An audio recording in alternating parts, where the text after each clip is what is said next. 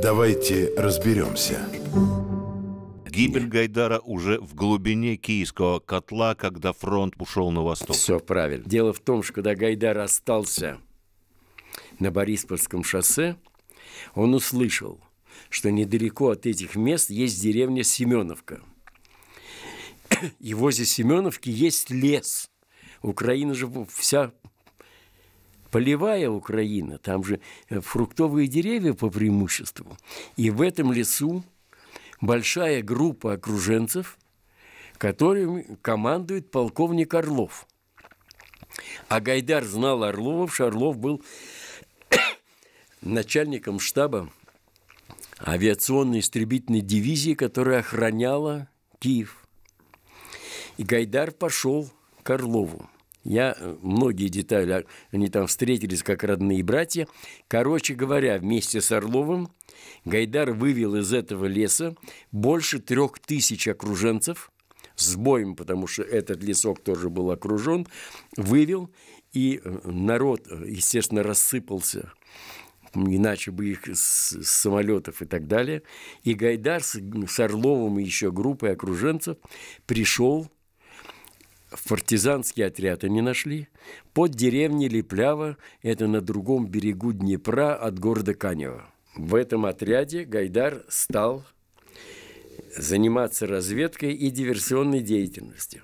Готовилась грандиозная операция по захвату Каневского аэродрома, где было несколько самолетов. До операции дело не дошло по той простой причине, что нашелся трус, который прибежал к немцам, а потом он привел этих немцев в лагерь. Отряд ну, был все равно разгромлен. Они лишились лагеря и всего остального. Вот. Образовалась группа Гайдар, бывший командир отряда, и, не, и, и какое-то количество окруженцев. Все местные разошлись по домам. И вот с этой группой Гайдар перешел в запасной лагерь, и там они э, до конца как бы э, разработали ближайший проект, над которым Гайдар думал давно. Он еще, когда с отрядом все было в порядке, говорил о том, что он хочет создать партизанскую армию по образцу воинских частей. Значит, Гайдар считал, что надо где-то обосноваться, кликнуть крич, народ пойдет, и создавать вот эту партизанскую армию задолго до того, как эти армии партизанские возникли после него. Осталась группа. Они приняли решение идти в Черниговские леса, потому что там действительно леса, а не лесочки, как здесь. Вот, и это будет базой.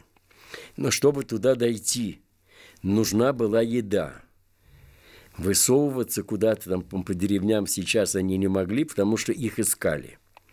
И для того, чтобы запастись продуктами на дорогу, Гайдар и еще четверо партизан должны были вернуться в старый лагерь.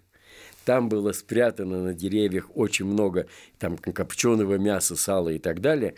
Они пошли за этим, дошли до леса, набрали пять мешков вот, э, э, только мясо и только сало, больше ничего не было, и пошли обратно. Вышли на окраину Леплявы, где была железная дорога. Там одна колейка, железная дорога, высокая насыпь. Им нужно было пройти вперед до будки путевого обходчика и свернуть направо в лес. Они почти дошли до будки обходчика – но устали. Парадокс состоит в том, что устали те четверо партизан, которые были моложе Гайдара. Сбросили мешки, они сели отдыхать, а Гайдар, который был старше, чем они, пошел в сторону будки путевого обходчика, потому что за будкой путевого обходчика на противоположной стороне находился дом обходчика, и Гайдар хотел у обходчика, которого он хорошо знал, попросить картошки и хлеба. Поэтому он взял пустой пустое ведро, из него высыпали масса, э, сало, С этим ведром, держа его на пальце, он прошел вдоль насыпи и, дойдя до будки путевого обходчика, стал подниматься на насыпь. И вот когда Гайдар поднялся на эту насыпь, и ему осталось сделать, может быть, два шага, чтобы перешагнуть через рельсы, раздался звук, как будто железом прикоснулись к железу. И Гайдар повернулся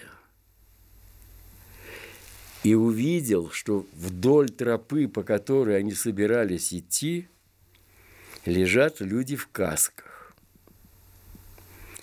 Как потом выяснилось, Гайдара предал там один мужик, даже фамилия там была известна, который жил возле насыпи и видел, как они выходили из леса накануне вечером, успел донести, и немцы на грузовиках пригнали вот этих солдат. Дальше происходит потрясающая вещь. Гайдар замирает вот в такой позе, в какой он увидел солдат, и не движется. И солдаты в него не стреляют. Гайдар понимает, что этим людям нужны не трупы, им нужны языки. И пока он стоит в этой позе, принимая решение, он может принять любое решение, с ним ничего не сделают. Значит, решение может быть такое. Он может сделать вид, что он их все-таки не разглядел, и спокойно повернуться и пойти через рельсы. Он может попробовать прыгнуть через рельсы. Но Гайдар есть Гайдар, что он помнит о тех товарищах. И он понимает, что если он сделает вот это, э, он потеряет какое-то время, и за это время могут погибнуть его товарищи. И он кричит, ребята, немцы, раздается пулеметная очередь, и он падает с этой насыпи. В этой истории есть продолжение – в 1947 году с разрешения Сталина тело Аркадия Петровича было решено перевести с окраины села Леплява в Москву и похоронить его как национального героя. Под этот проект был прислан специальный состав из трех вагонов – там была делегация Союза писателей, были родственники, и был вагон для гроба Гайдара. Но Гайдар, значит, был назначен день эксгумации, было произведено и вскрытие, и было вскрыто сердце. И в этом сердце нашли пулю от пулемета – Врач вынул это сердце и показал всем, кто находился рядом. Вот это сердце Гайдара. И объяснил одну очень важную вещь.